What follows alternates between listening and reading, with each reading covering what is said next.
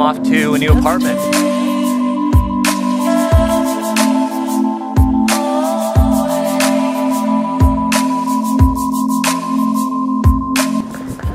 Kim is heading to Hong Kong and then from Hong Kong to Singapore and the Philippines.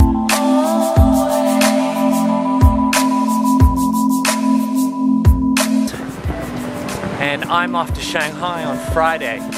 So I need a place to stay for two nights and Uh, I've been using Airbnb for most of this trip, if not all of it. And I found a wonderful little apartment and I'm excited to get there.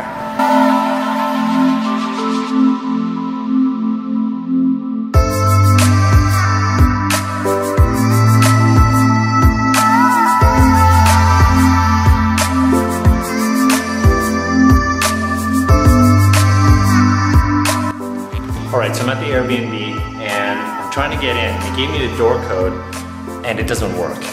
Um, I'm very frustrated, I'm very angry, and I'm trying to get in touch with them. But the Wi-Fi's not working.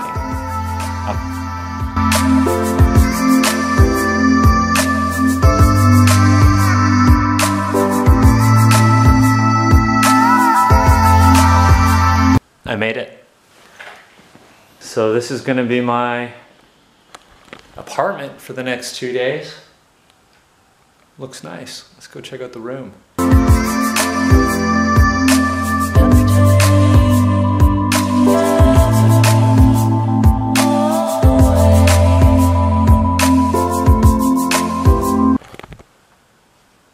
Looks comfy.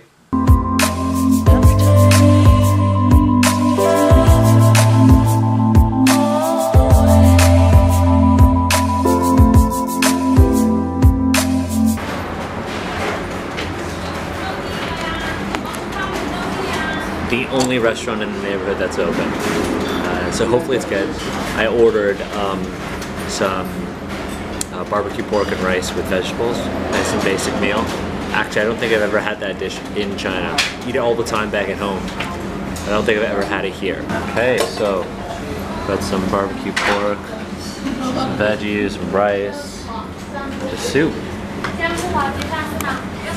Not bad. I, I ordered one more dish.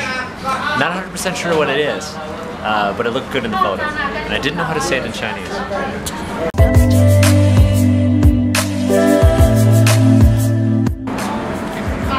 Oh my god. This spicy chow fan is kicking my ass. Literally and figuratively.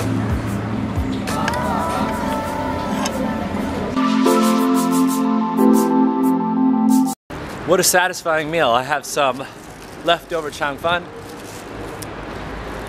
It was really nice to have white rice.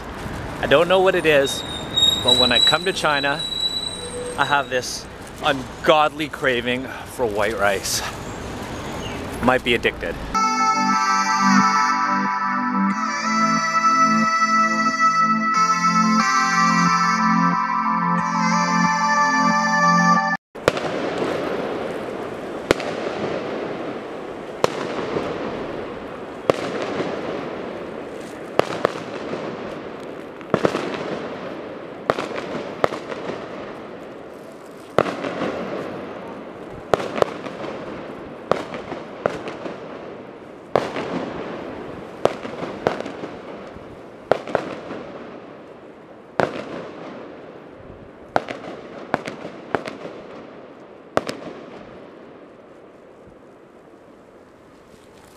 That's the sound of Chinese New Year's.